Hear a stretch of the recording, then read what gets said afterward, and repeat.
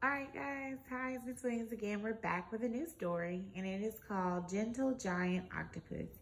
The author is Karen Wallace, and the illustrator is Mike Bostock. All right, so don't forget that you're going to send these answers back to your teacher for the questions that they send you this week. Gentle Giant Octopus. A gentle giant octopus jets through the shadows. She's huge like a spaceship. Her eyes glow in the water. Long tentacles fly like ribbons behind her.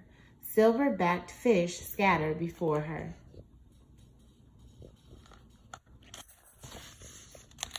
A wandering mother octopus moves through the water. Inside her body, she carries her eggs. She looks for a den that is safe and well hidden for a crack in a rock face or a hole under a stone. When octopuses move quickly, they jet backward by sucking in seawater and pumping it out through a funnel-like siphon. An octopus sinks like a huge rubber flower. Sand muddies the water as she lands on the seabed. Octopuses use their tentacles like fingers to sense things.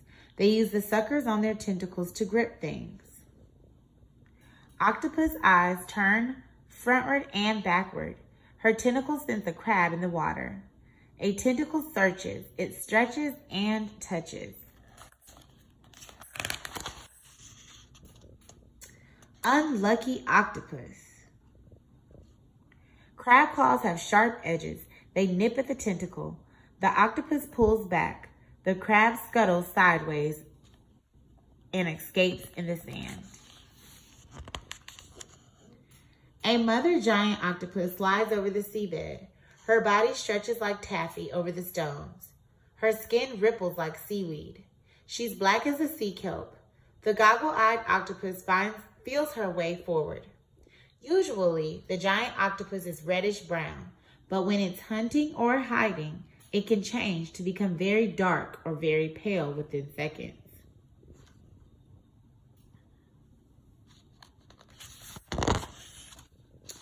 But under a boulder, a wolf eel is waiting. His mottled gray face darts from the shadows. His teeth strike like daggers.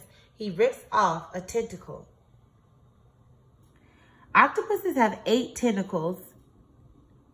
A healthy octopus can regrow its tentacles if they are damaged, then sinks like a nightmare deep into his den.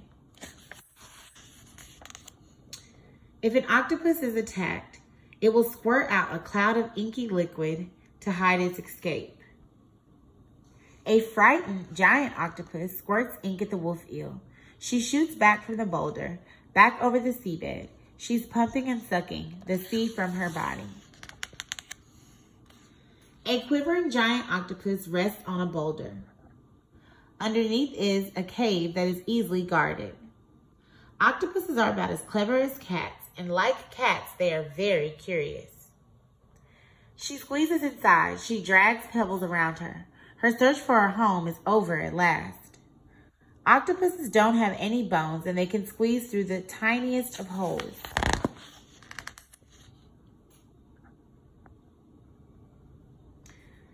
A mother giant octopus lays eggs in her cave den.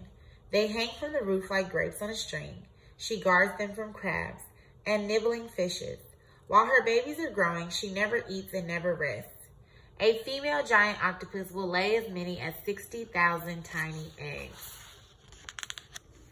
After five months, her babies swim from their egg sacs. They squirm and they wiggle. They jet through the shadows. They're sucking and pumping the sea from their bodies. Lots of other animals like to eat baby octopuses, so only two or three out of every brood live to become adults.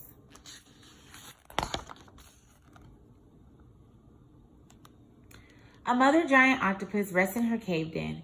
She watches her babies swim up through the water. A gentle giant octopus shrinks in the shadows. Her life is over as their lives begin. There's an index from last week. Remember, that's a text feature that you will see in stories most of the time nonfiction stories. And that is the end. So remember, guys, make sure that you're checking Dojo and you check for the questions that your teacher posts each day and answer them and send them back to them. See you guys next week.